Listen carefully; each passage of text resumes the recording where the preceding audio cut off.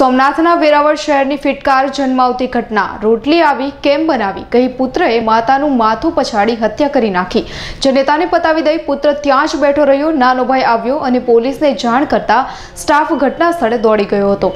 સાંપ્રત સમયમાં કળિયુગની પ્રતીતિ કરાવતો અને સંબંધોની હત્યા સમાન ધૃણાસ્પદ કિસ્સો પ્રકાશમાં આવ્યો છે. વેરાવળની મિસ્કિન કોલોનીમાં બે પુત્રો સાથે રહેતા પંચોતેર વર્ષીય વૃદ્ધા મહેમુદાબેન અલરખા સેલત ને તેના જ કપાતર પુત્રએ મોતને ઘાટ ઉતારી દીધા છે. તો હત્યાનું કારણ જાણીને પણ આપ દંગ રહી જશો. પંચોતેર વર્ષની વયે પણ પુત્રોને જમવાનું બનાવી ખવડાવતી માતાના મોતનું કારણ પણ પુત્ર માટેની રસોઈ જ બની છે. તારીખ ત્રીસના બપોરે નિત્યક્રમ મુજબ મહેમુદાબેને જમવાનું બનાવ્યું અને પુત્ર સાજિદ સાથે જમવા બેઠા. અને એ સમયે જ સાજિદ પણ જાણે કાર સવાર થયો હોય તે મહેમુદાબેનને રોટલી આવી કેમ બનાવી કહીને ઝઘડો કરવા લાગ્યો હતો. અને બાદમાં માતાના મોઢા પર મુક્કા મારી તેમની ચૂંદડી વીંટાળી માથું જમીન પછાડી હત્યા કરી નાખી હતી. માતાનું પ્રાણ પંખેર ઉડી ગયા બાદ સાજિદ ઘરમાં જ બેઠો રહ્યો હતો. જ્યારે તેનો નાનો ભાઈ ઇમરાન ઘરમાં આવ્યો, ત્યારે તેણે સાજિદને બેઠેલું જોયું અને મહેમુદાબેનને જમીન પર પડેલા જોયા. રસોઈ અને સાજિદનું ભાણું જોઈ તેમણે પોતાના ભાઈ મુસ્તાફ અને ભાભીને વાત કરી હતી, જેથી મુસાફે પોલીસને જાણ કરતા પોલીસ ઘટના સ્થળે દોડી ગઈ હતી. કમનસીબ મહેમુદાબેનના પાંચ પુત્રોમાં અસલમ, ઇમ્તિયાઝ અને મુસ્તાફ બાજુમાં જ જુદા રહે છે, જ્યારે સાજિદ અને ઇમરાન તેમની સાથે રહે છે. હત્યારા પુત્ર સાજિદ પરિણીત છે, પરંતુ ત્રણ વર્ષ પૂર્વે તેની પત્ની સાથે પણ અણબનાવ બનતા પત્ની તેના માવતરને ત્યાં રીસામણે છે. જેથી મા જનેતા મહેમુદાબેન આ કપાતરને રોજ રસોઈ બનાવી જમાડતા હતા. હાલ પોલીસે મૃતક મહેમુદાબેનના મોટા પુત્ર મુસાફની ફરિયાદના આધારે સાજિદ સામે ગુનો નોંધી આગળની કાર્યવાહી હાથ ધરી છે. બપોરના સાડા ત્રણેક વાગ્યાના અરસામાં મિસ્કિન કોલોનીમાં સાજિદભાઈ અલાર ખાસેલત પોતાની મમ્મી છે, એની સાથે રહે છે, મહેમુદાબેન સાથે.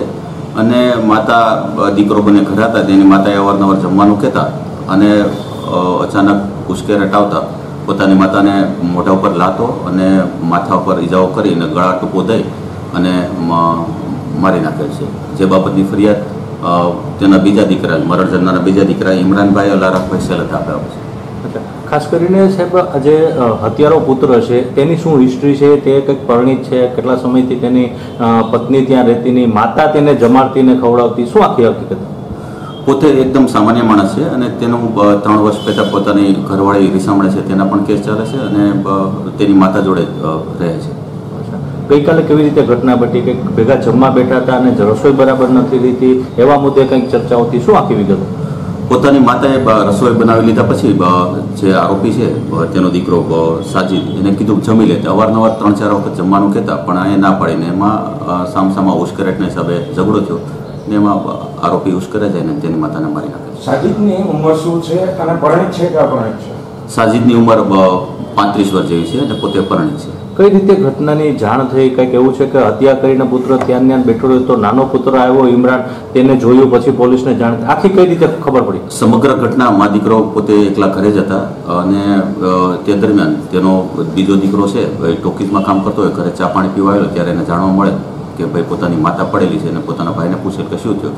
તો કે આ બાબતમાં, જમવા બાબતમાં અવારનવાર મમ્મીએ ટોકેલ હોય, એટલે મેં એને મારેલ છે. આવી વિગત એના ભાઈને જણાવેલી આગળની કાર્યવાહી શું? પોલીસે કોની ફરિયાદ દીધી છે? કઈ કલમ મુજબ? હાલ પોલીસે તેના દીકરા ઇમરાનભાઈની ફરિયાદ લીધી છે અને આરોપી પણ પોલીસ કસ્ટડીમાં છે. આજ કોરોનાના ટેસ્ટ માટેની કાર્યવાહી કરી આગળની તપાસ શરૂ છે. રાકેશ પરડવાનો રિપોર્ટ ગીર સોમનાથ.